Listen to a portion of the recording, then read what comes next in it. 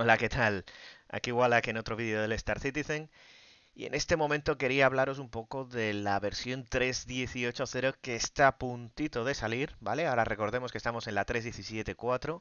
La 3.18.0 está disponible en el PTU, la primera oleada de testers eh, públicos, por así decirlo. Antes de eso está en Evocati.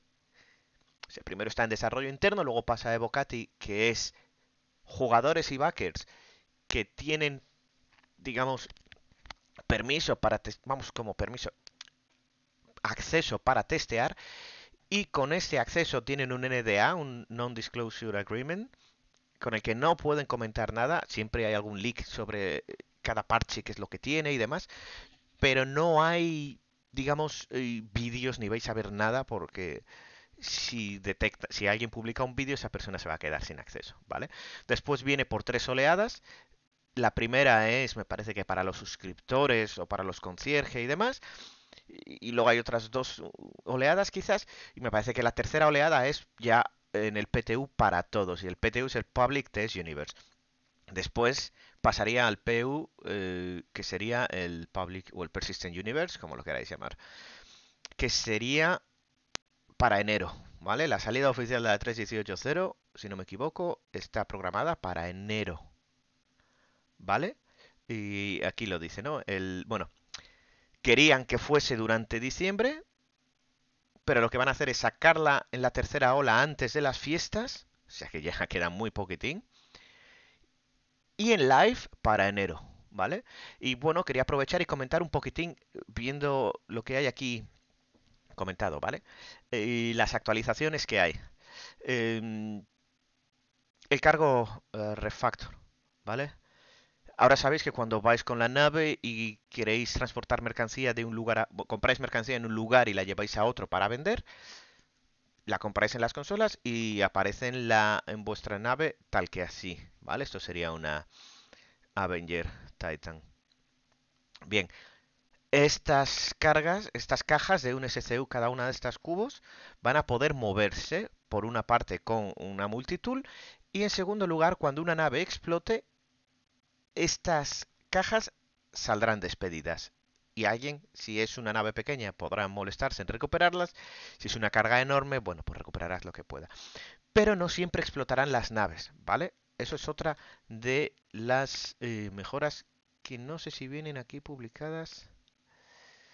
Y parece que no. Bueno, uno de los cambios, ¿vale?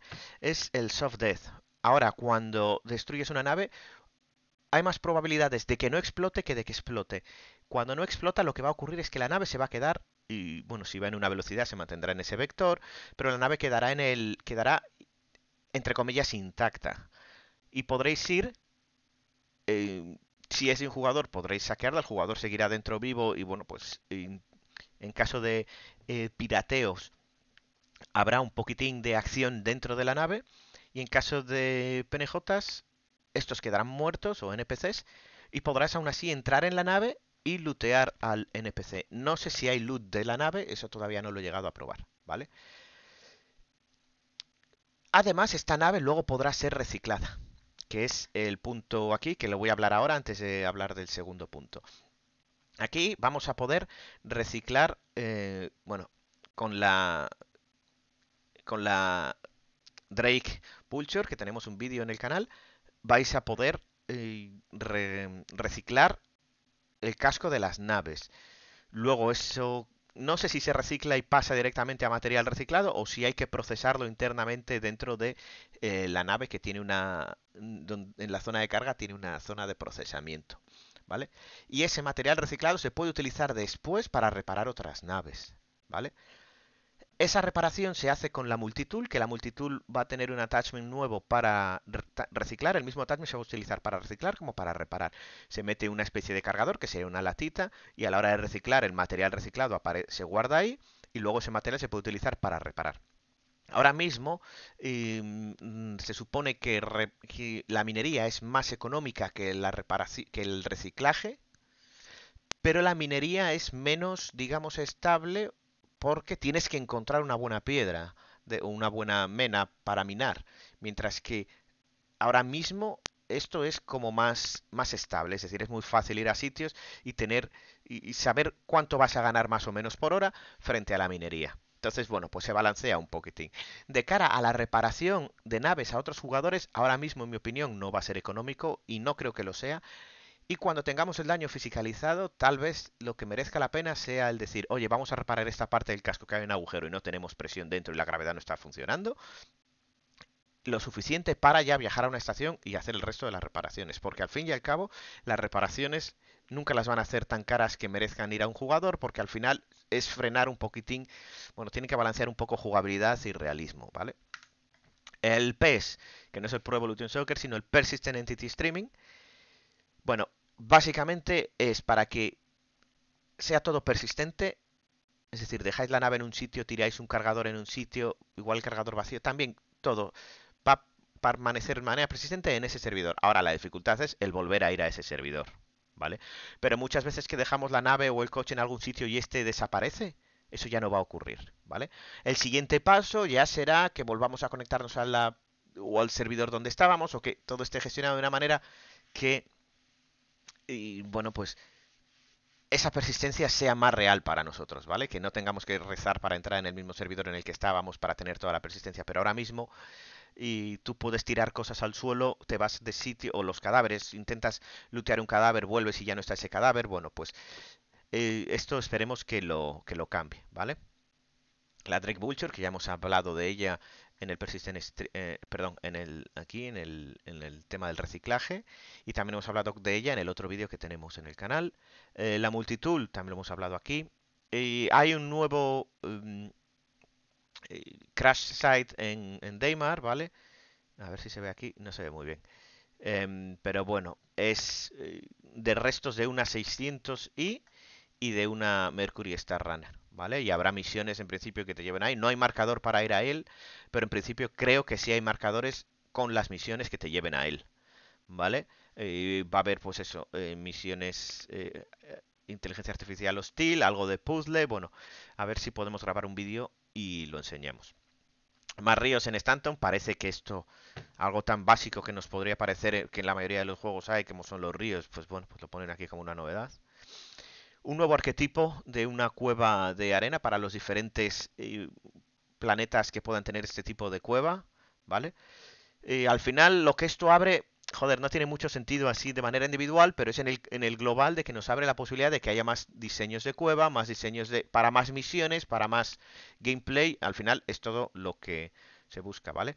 De la Arena Commander no voy a comentar nada porque no juego, eh, pero básicamente están mejorando el tema de las carreras. Más misiones y tipos de actividades en las prisiones. Security Post Carea, que a mí me encantaba ahora tal y como estaba, lo han cambiado de manera completa, ¿vale? Ahora será, no podrás entrar sin permiso. Si entra un criminal, podrá tomar el lugar y producir eh, contrabando, drogas, como sea. Y cuando eso pase, podrán aparecer misiones para retomar eh, Security Post Carea, etcétera. Ya no será tal y como es ahora, que puedes ir, te equipas y puedes salir equipado sin tener nada. Va a cambiar. Nuevas misiones en Horizon, ¿vale? En las plataformas, lo cual es bastante interesante. Otra cosa que no han dicho de Horizon, que es muy importante, es que ahora se, se puede salir del planeta mucho más rápido, por lo cual para mí será probablemente el planeta inicial, porque me muevo generalmente de Horizon a por Olisar y Grimhex, ¿vale? Eh, nuevos escenarios de interdicción cuando nos bloquean el, viaje cuántico y aparecen enemigos, ¿vale? Y más misiones así. Eh, bueno, pues esto que dice aquí espaciales, pero que no sé realmente a qué se refieren. Aquí tenemos las eh, notas del parche eh, que han publicado hace dos días para la 3.18, para el PTU, para la primera oleada, ¿vale? Bueno, aquí comentan en qué quieren que te centres, pero es importante que veamos aquí estas cositas que hay, ¿vale? Por ejemplo, em, esto que no, no se ha comentado arriba, se han cambiado o se han mejorado o hay nuevo tipo de misiones de, de delivery, ¿vale? De estas de coger la caja en un sitio y llevarla a otro sitio. Hay eh, localizaciones eh, a lo largo de Stanton, lo que sería el sistema en el que jugamos, en las que han aparecido pistas de carreras. Hay una pista de carreras para los PTV, ¿vale? Los chiquitines, los coches chiquitines. Eh, bueno, nuevos Derelict Autos. Restricted Areas versión 3. Van a cambiar cómo funciona cuando estás volando alrededor de un área eh, restringida. No hablo de los bunkers en los que te disparan, sino cuando bajas, por ejemplo, a mm, Lorville y vuelas por donde no debes, que te redirigen. Ahora me parece que te van a indicar una flecha hacia dónde tienes que ir. Bueno, va a ser un poco diferente. Porque hay veces que bajas a esos planetas y no uno no se entera. Aquí hablan un poquitín de las issues que saben que existen, ¿vale? Y bueno, aquí las eh, features ya un poquitín más explicadas también, pues el, lo que hemos hablado, ¿vale? Eh, eh, la, la, la, pista de carreras, por lo visto, está en Horizon Vision Center en Crusader. Bueno, eh, más localizaciones para carreras, la cueva, el crash site de eh, Daymar, bueno, y lo del el cargo que ya hemos hablado, lo que de hay cajas. Aquí habla un poquitín ya más de cómo es Security Post Carea, ¿vale? Y no sé ahora mismo dentro de la zona de Crusader donde te quitarías el el criminal el crime stat, ¿vale? Porque antes era en Security Post Carea. Así que no sé muy bien ahora esto dónde ocurrirá, ¿vale? Aquí habla un poquitín también de las misiones en Horizon. Tampoco queremos entrar en detalle, pero bueno, para que sepáis un poquitín lo que hay. Estas misiones de Horizon van a ser las equivalentes a las Bunker Missions que hay en otros planetas y lunas, pero en Horizon que no tiene bunkers, ¿vale? Eh, nuevas misiones de carreras. No las voy a probar. Por lo visto, han aparecido algunos cambios en, en los... Bueno, hay nuevos eh, bindings, ¿vale? Nuevas eh, teclas que podemos tener para un cronómetro, ¿vale? Para, para poder cronometrar carreras o lo que queramos. También creo que ha cambiado algo el modo de los gimbal en las naves. Es que es algo que recuerdo leer, pero no he visto ahora mismo en estas notas. Y tenemos también el, bueno, lo de, lo de reciclaje que ya hemos hablado, ¿vale?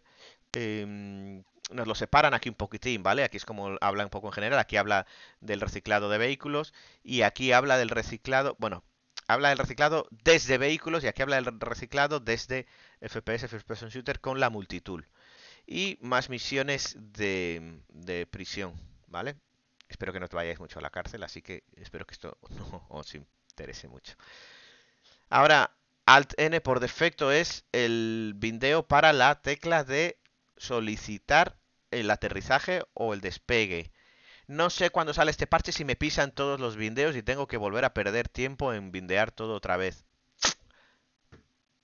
Dios quiera que no, porque les reviento. Aunque bueno, tengo guardadas las configuraciones.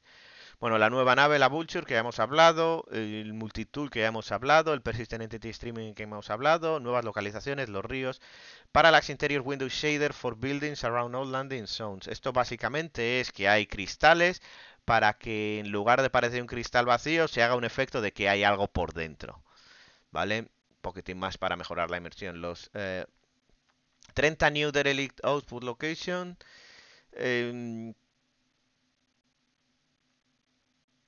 creo que son similares a los que hay en Microtech que se han puesto en, eh, a lo largo de Stanton, ¿vale? Para que no esté solo en, en Microtech.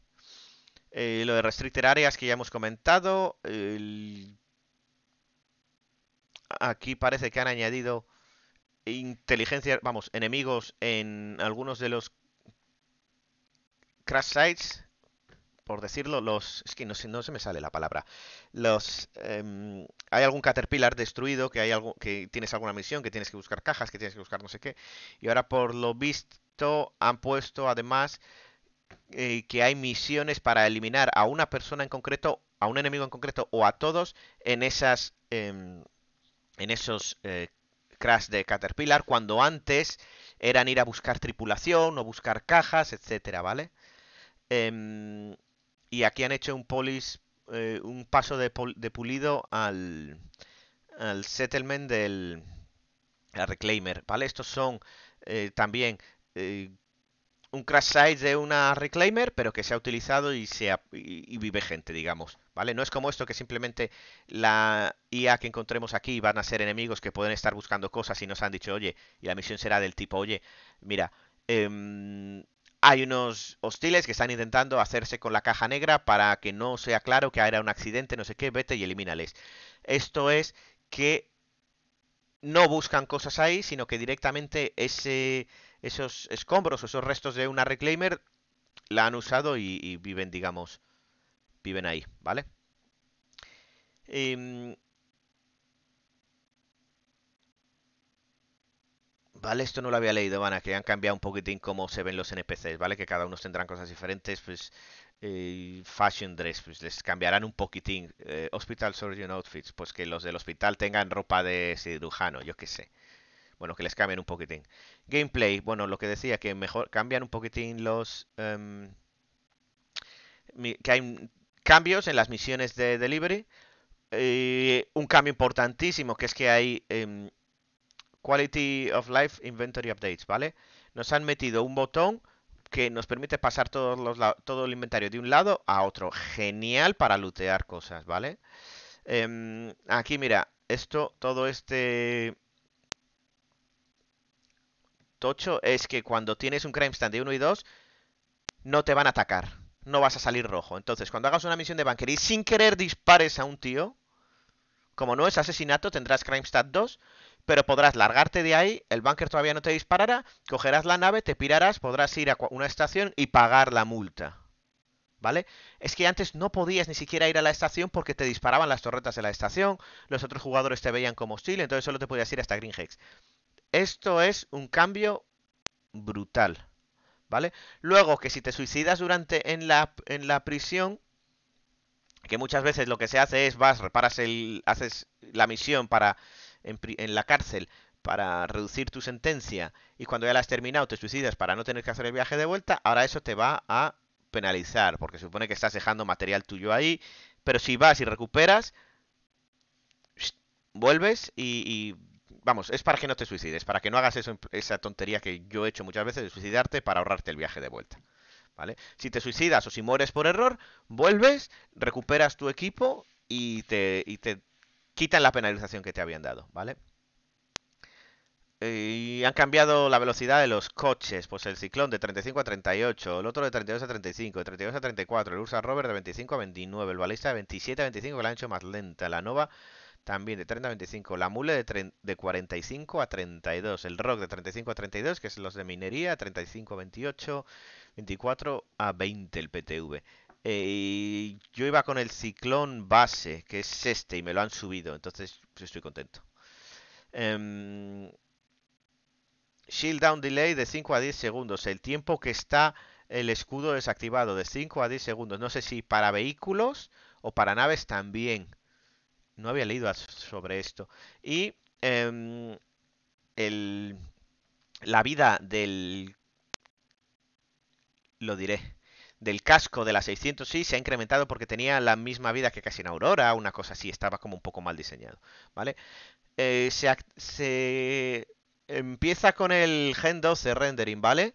El Gen 12 permite que haya mejor optimización gráfica para que tengamos más FPS, pero es posible que ahora no solo lo, no lo veamos, sino que incluso veamos algún detrimento en algunos casos. Lo que da esto es la utilidad a los desarrolladores para que tengamos mejores, mejor rendimiento. Entonces, em, aunque empieza aquí el, el Gen 12, la generación 12 que llaman, no quiere decir que inmediatamente haya cambios, pero que a partir de ahora veremos más cambios. Aquí bug fixes y no me los voy a leer. Y cosas de balances, bueno, pues aquí meten una tontería, ¿no? Que el free fly de 8 a 24 jugadores, bueno, algunas cosillas. Más bug fixes, Em, bueno, tampoco quiero leer todas estas notas. Lo voy a dejar en la descripción por si alguien os apetece leerlo un poquitín en más detalle, pero básicamente quería hablar de los eh, cambios principales que van a venir, que me parece que son muy interesantes. Así que nada, oye, espero que os haya gustado un poquitín este vídeo y nada, nos vemos en el verso. Cualquier cosa ya sabéis, comentarios y Discord, lo que queráis, ¿vale? Un saludo.